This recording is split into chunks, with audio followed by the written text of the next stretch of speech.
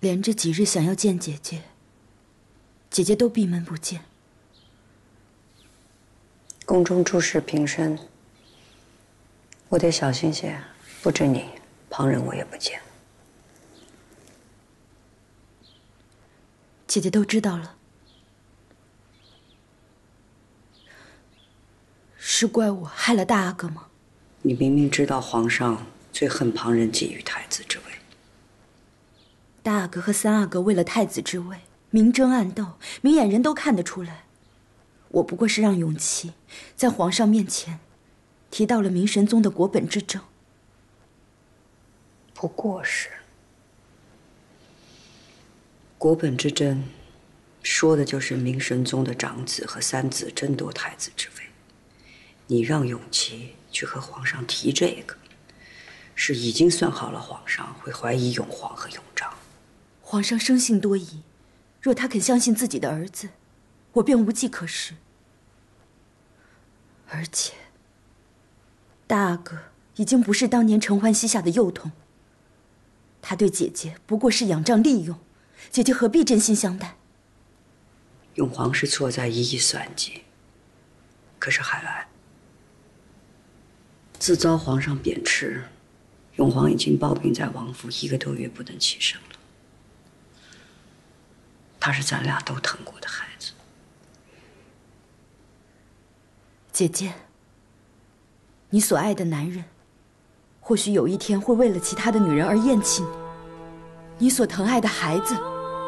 会为了自己利用你，你太重感情，这会是你最大的软肋。后宫之中情分本就难得，如果连这点情分你也撒手不要了，咱们还能有什么？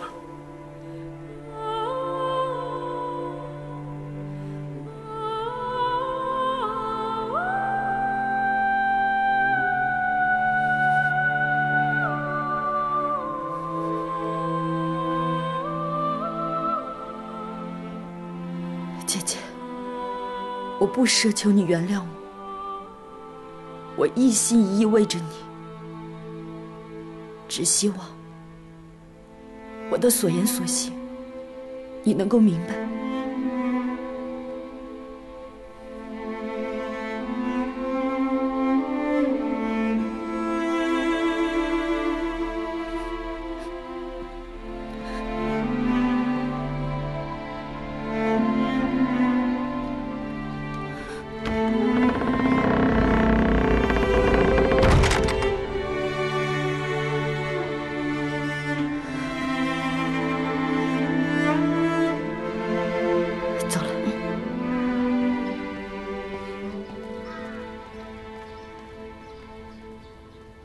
主，于妃娘娘，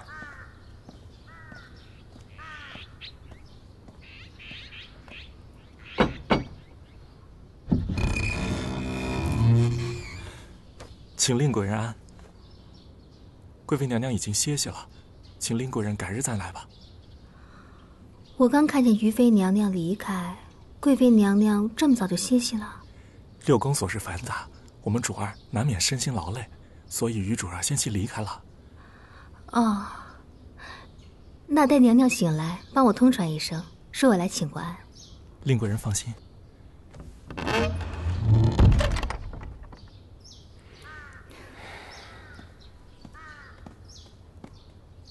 主，您别太在意，贤贵妃也不是光不见您，六宫的嫔妃她都避嫌呢。贤贵妃也忒小心了些。其实嘉妃娘娘也是后位炙手可热的人选，现在人人都去启祥宫呢。你也觉得嘉妃是有登上后位的可能？嘉妃娘娘接连生子，又得皇上宠爱。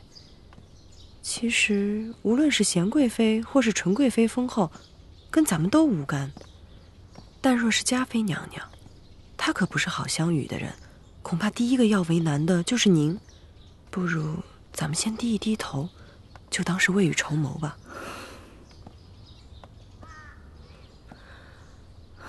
罢了，去启贤宫吧。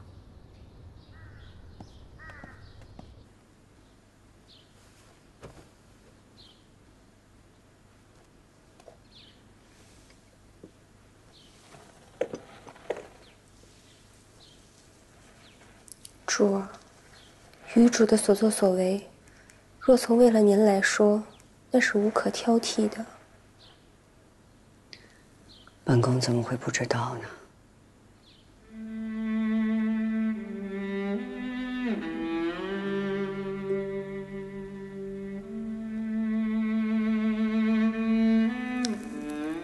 就算知道用皇算计着本宫，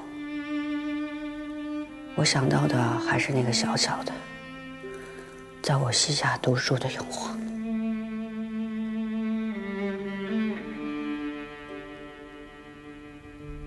叫我母亲的永皇。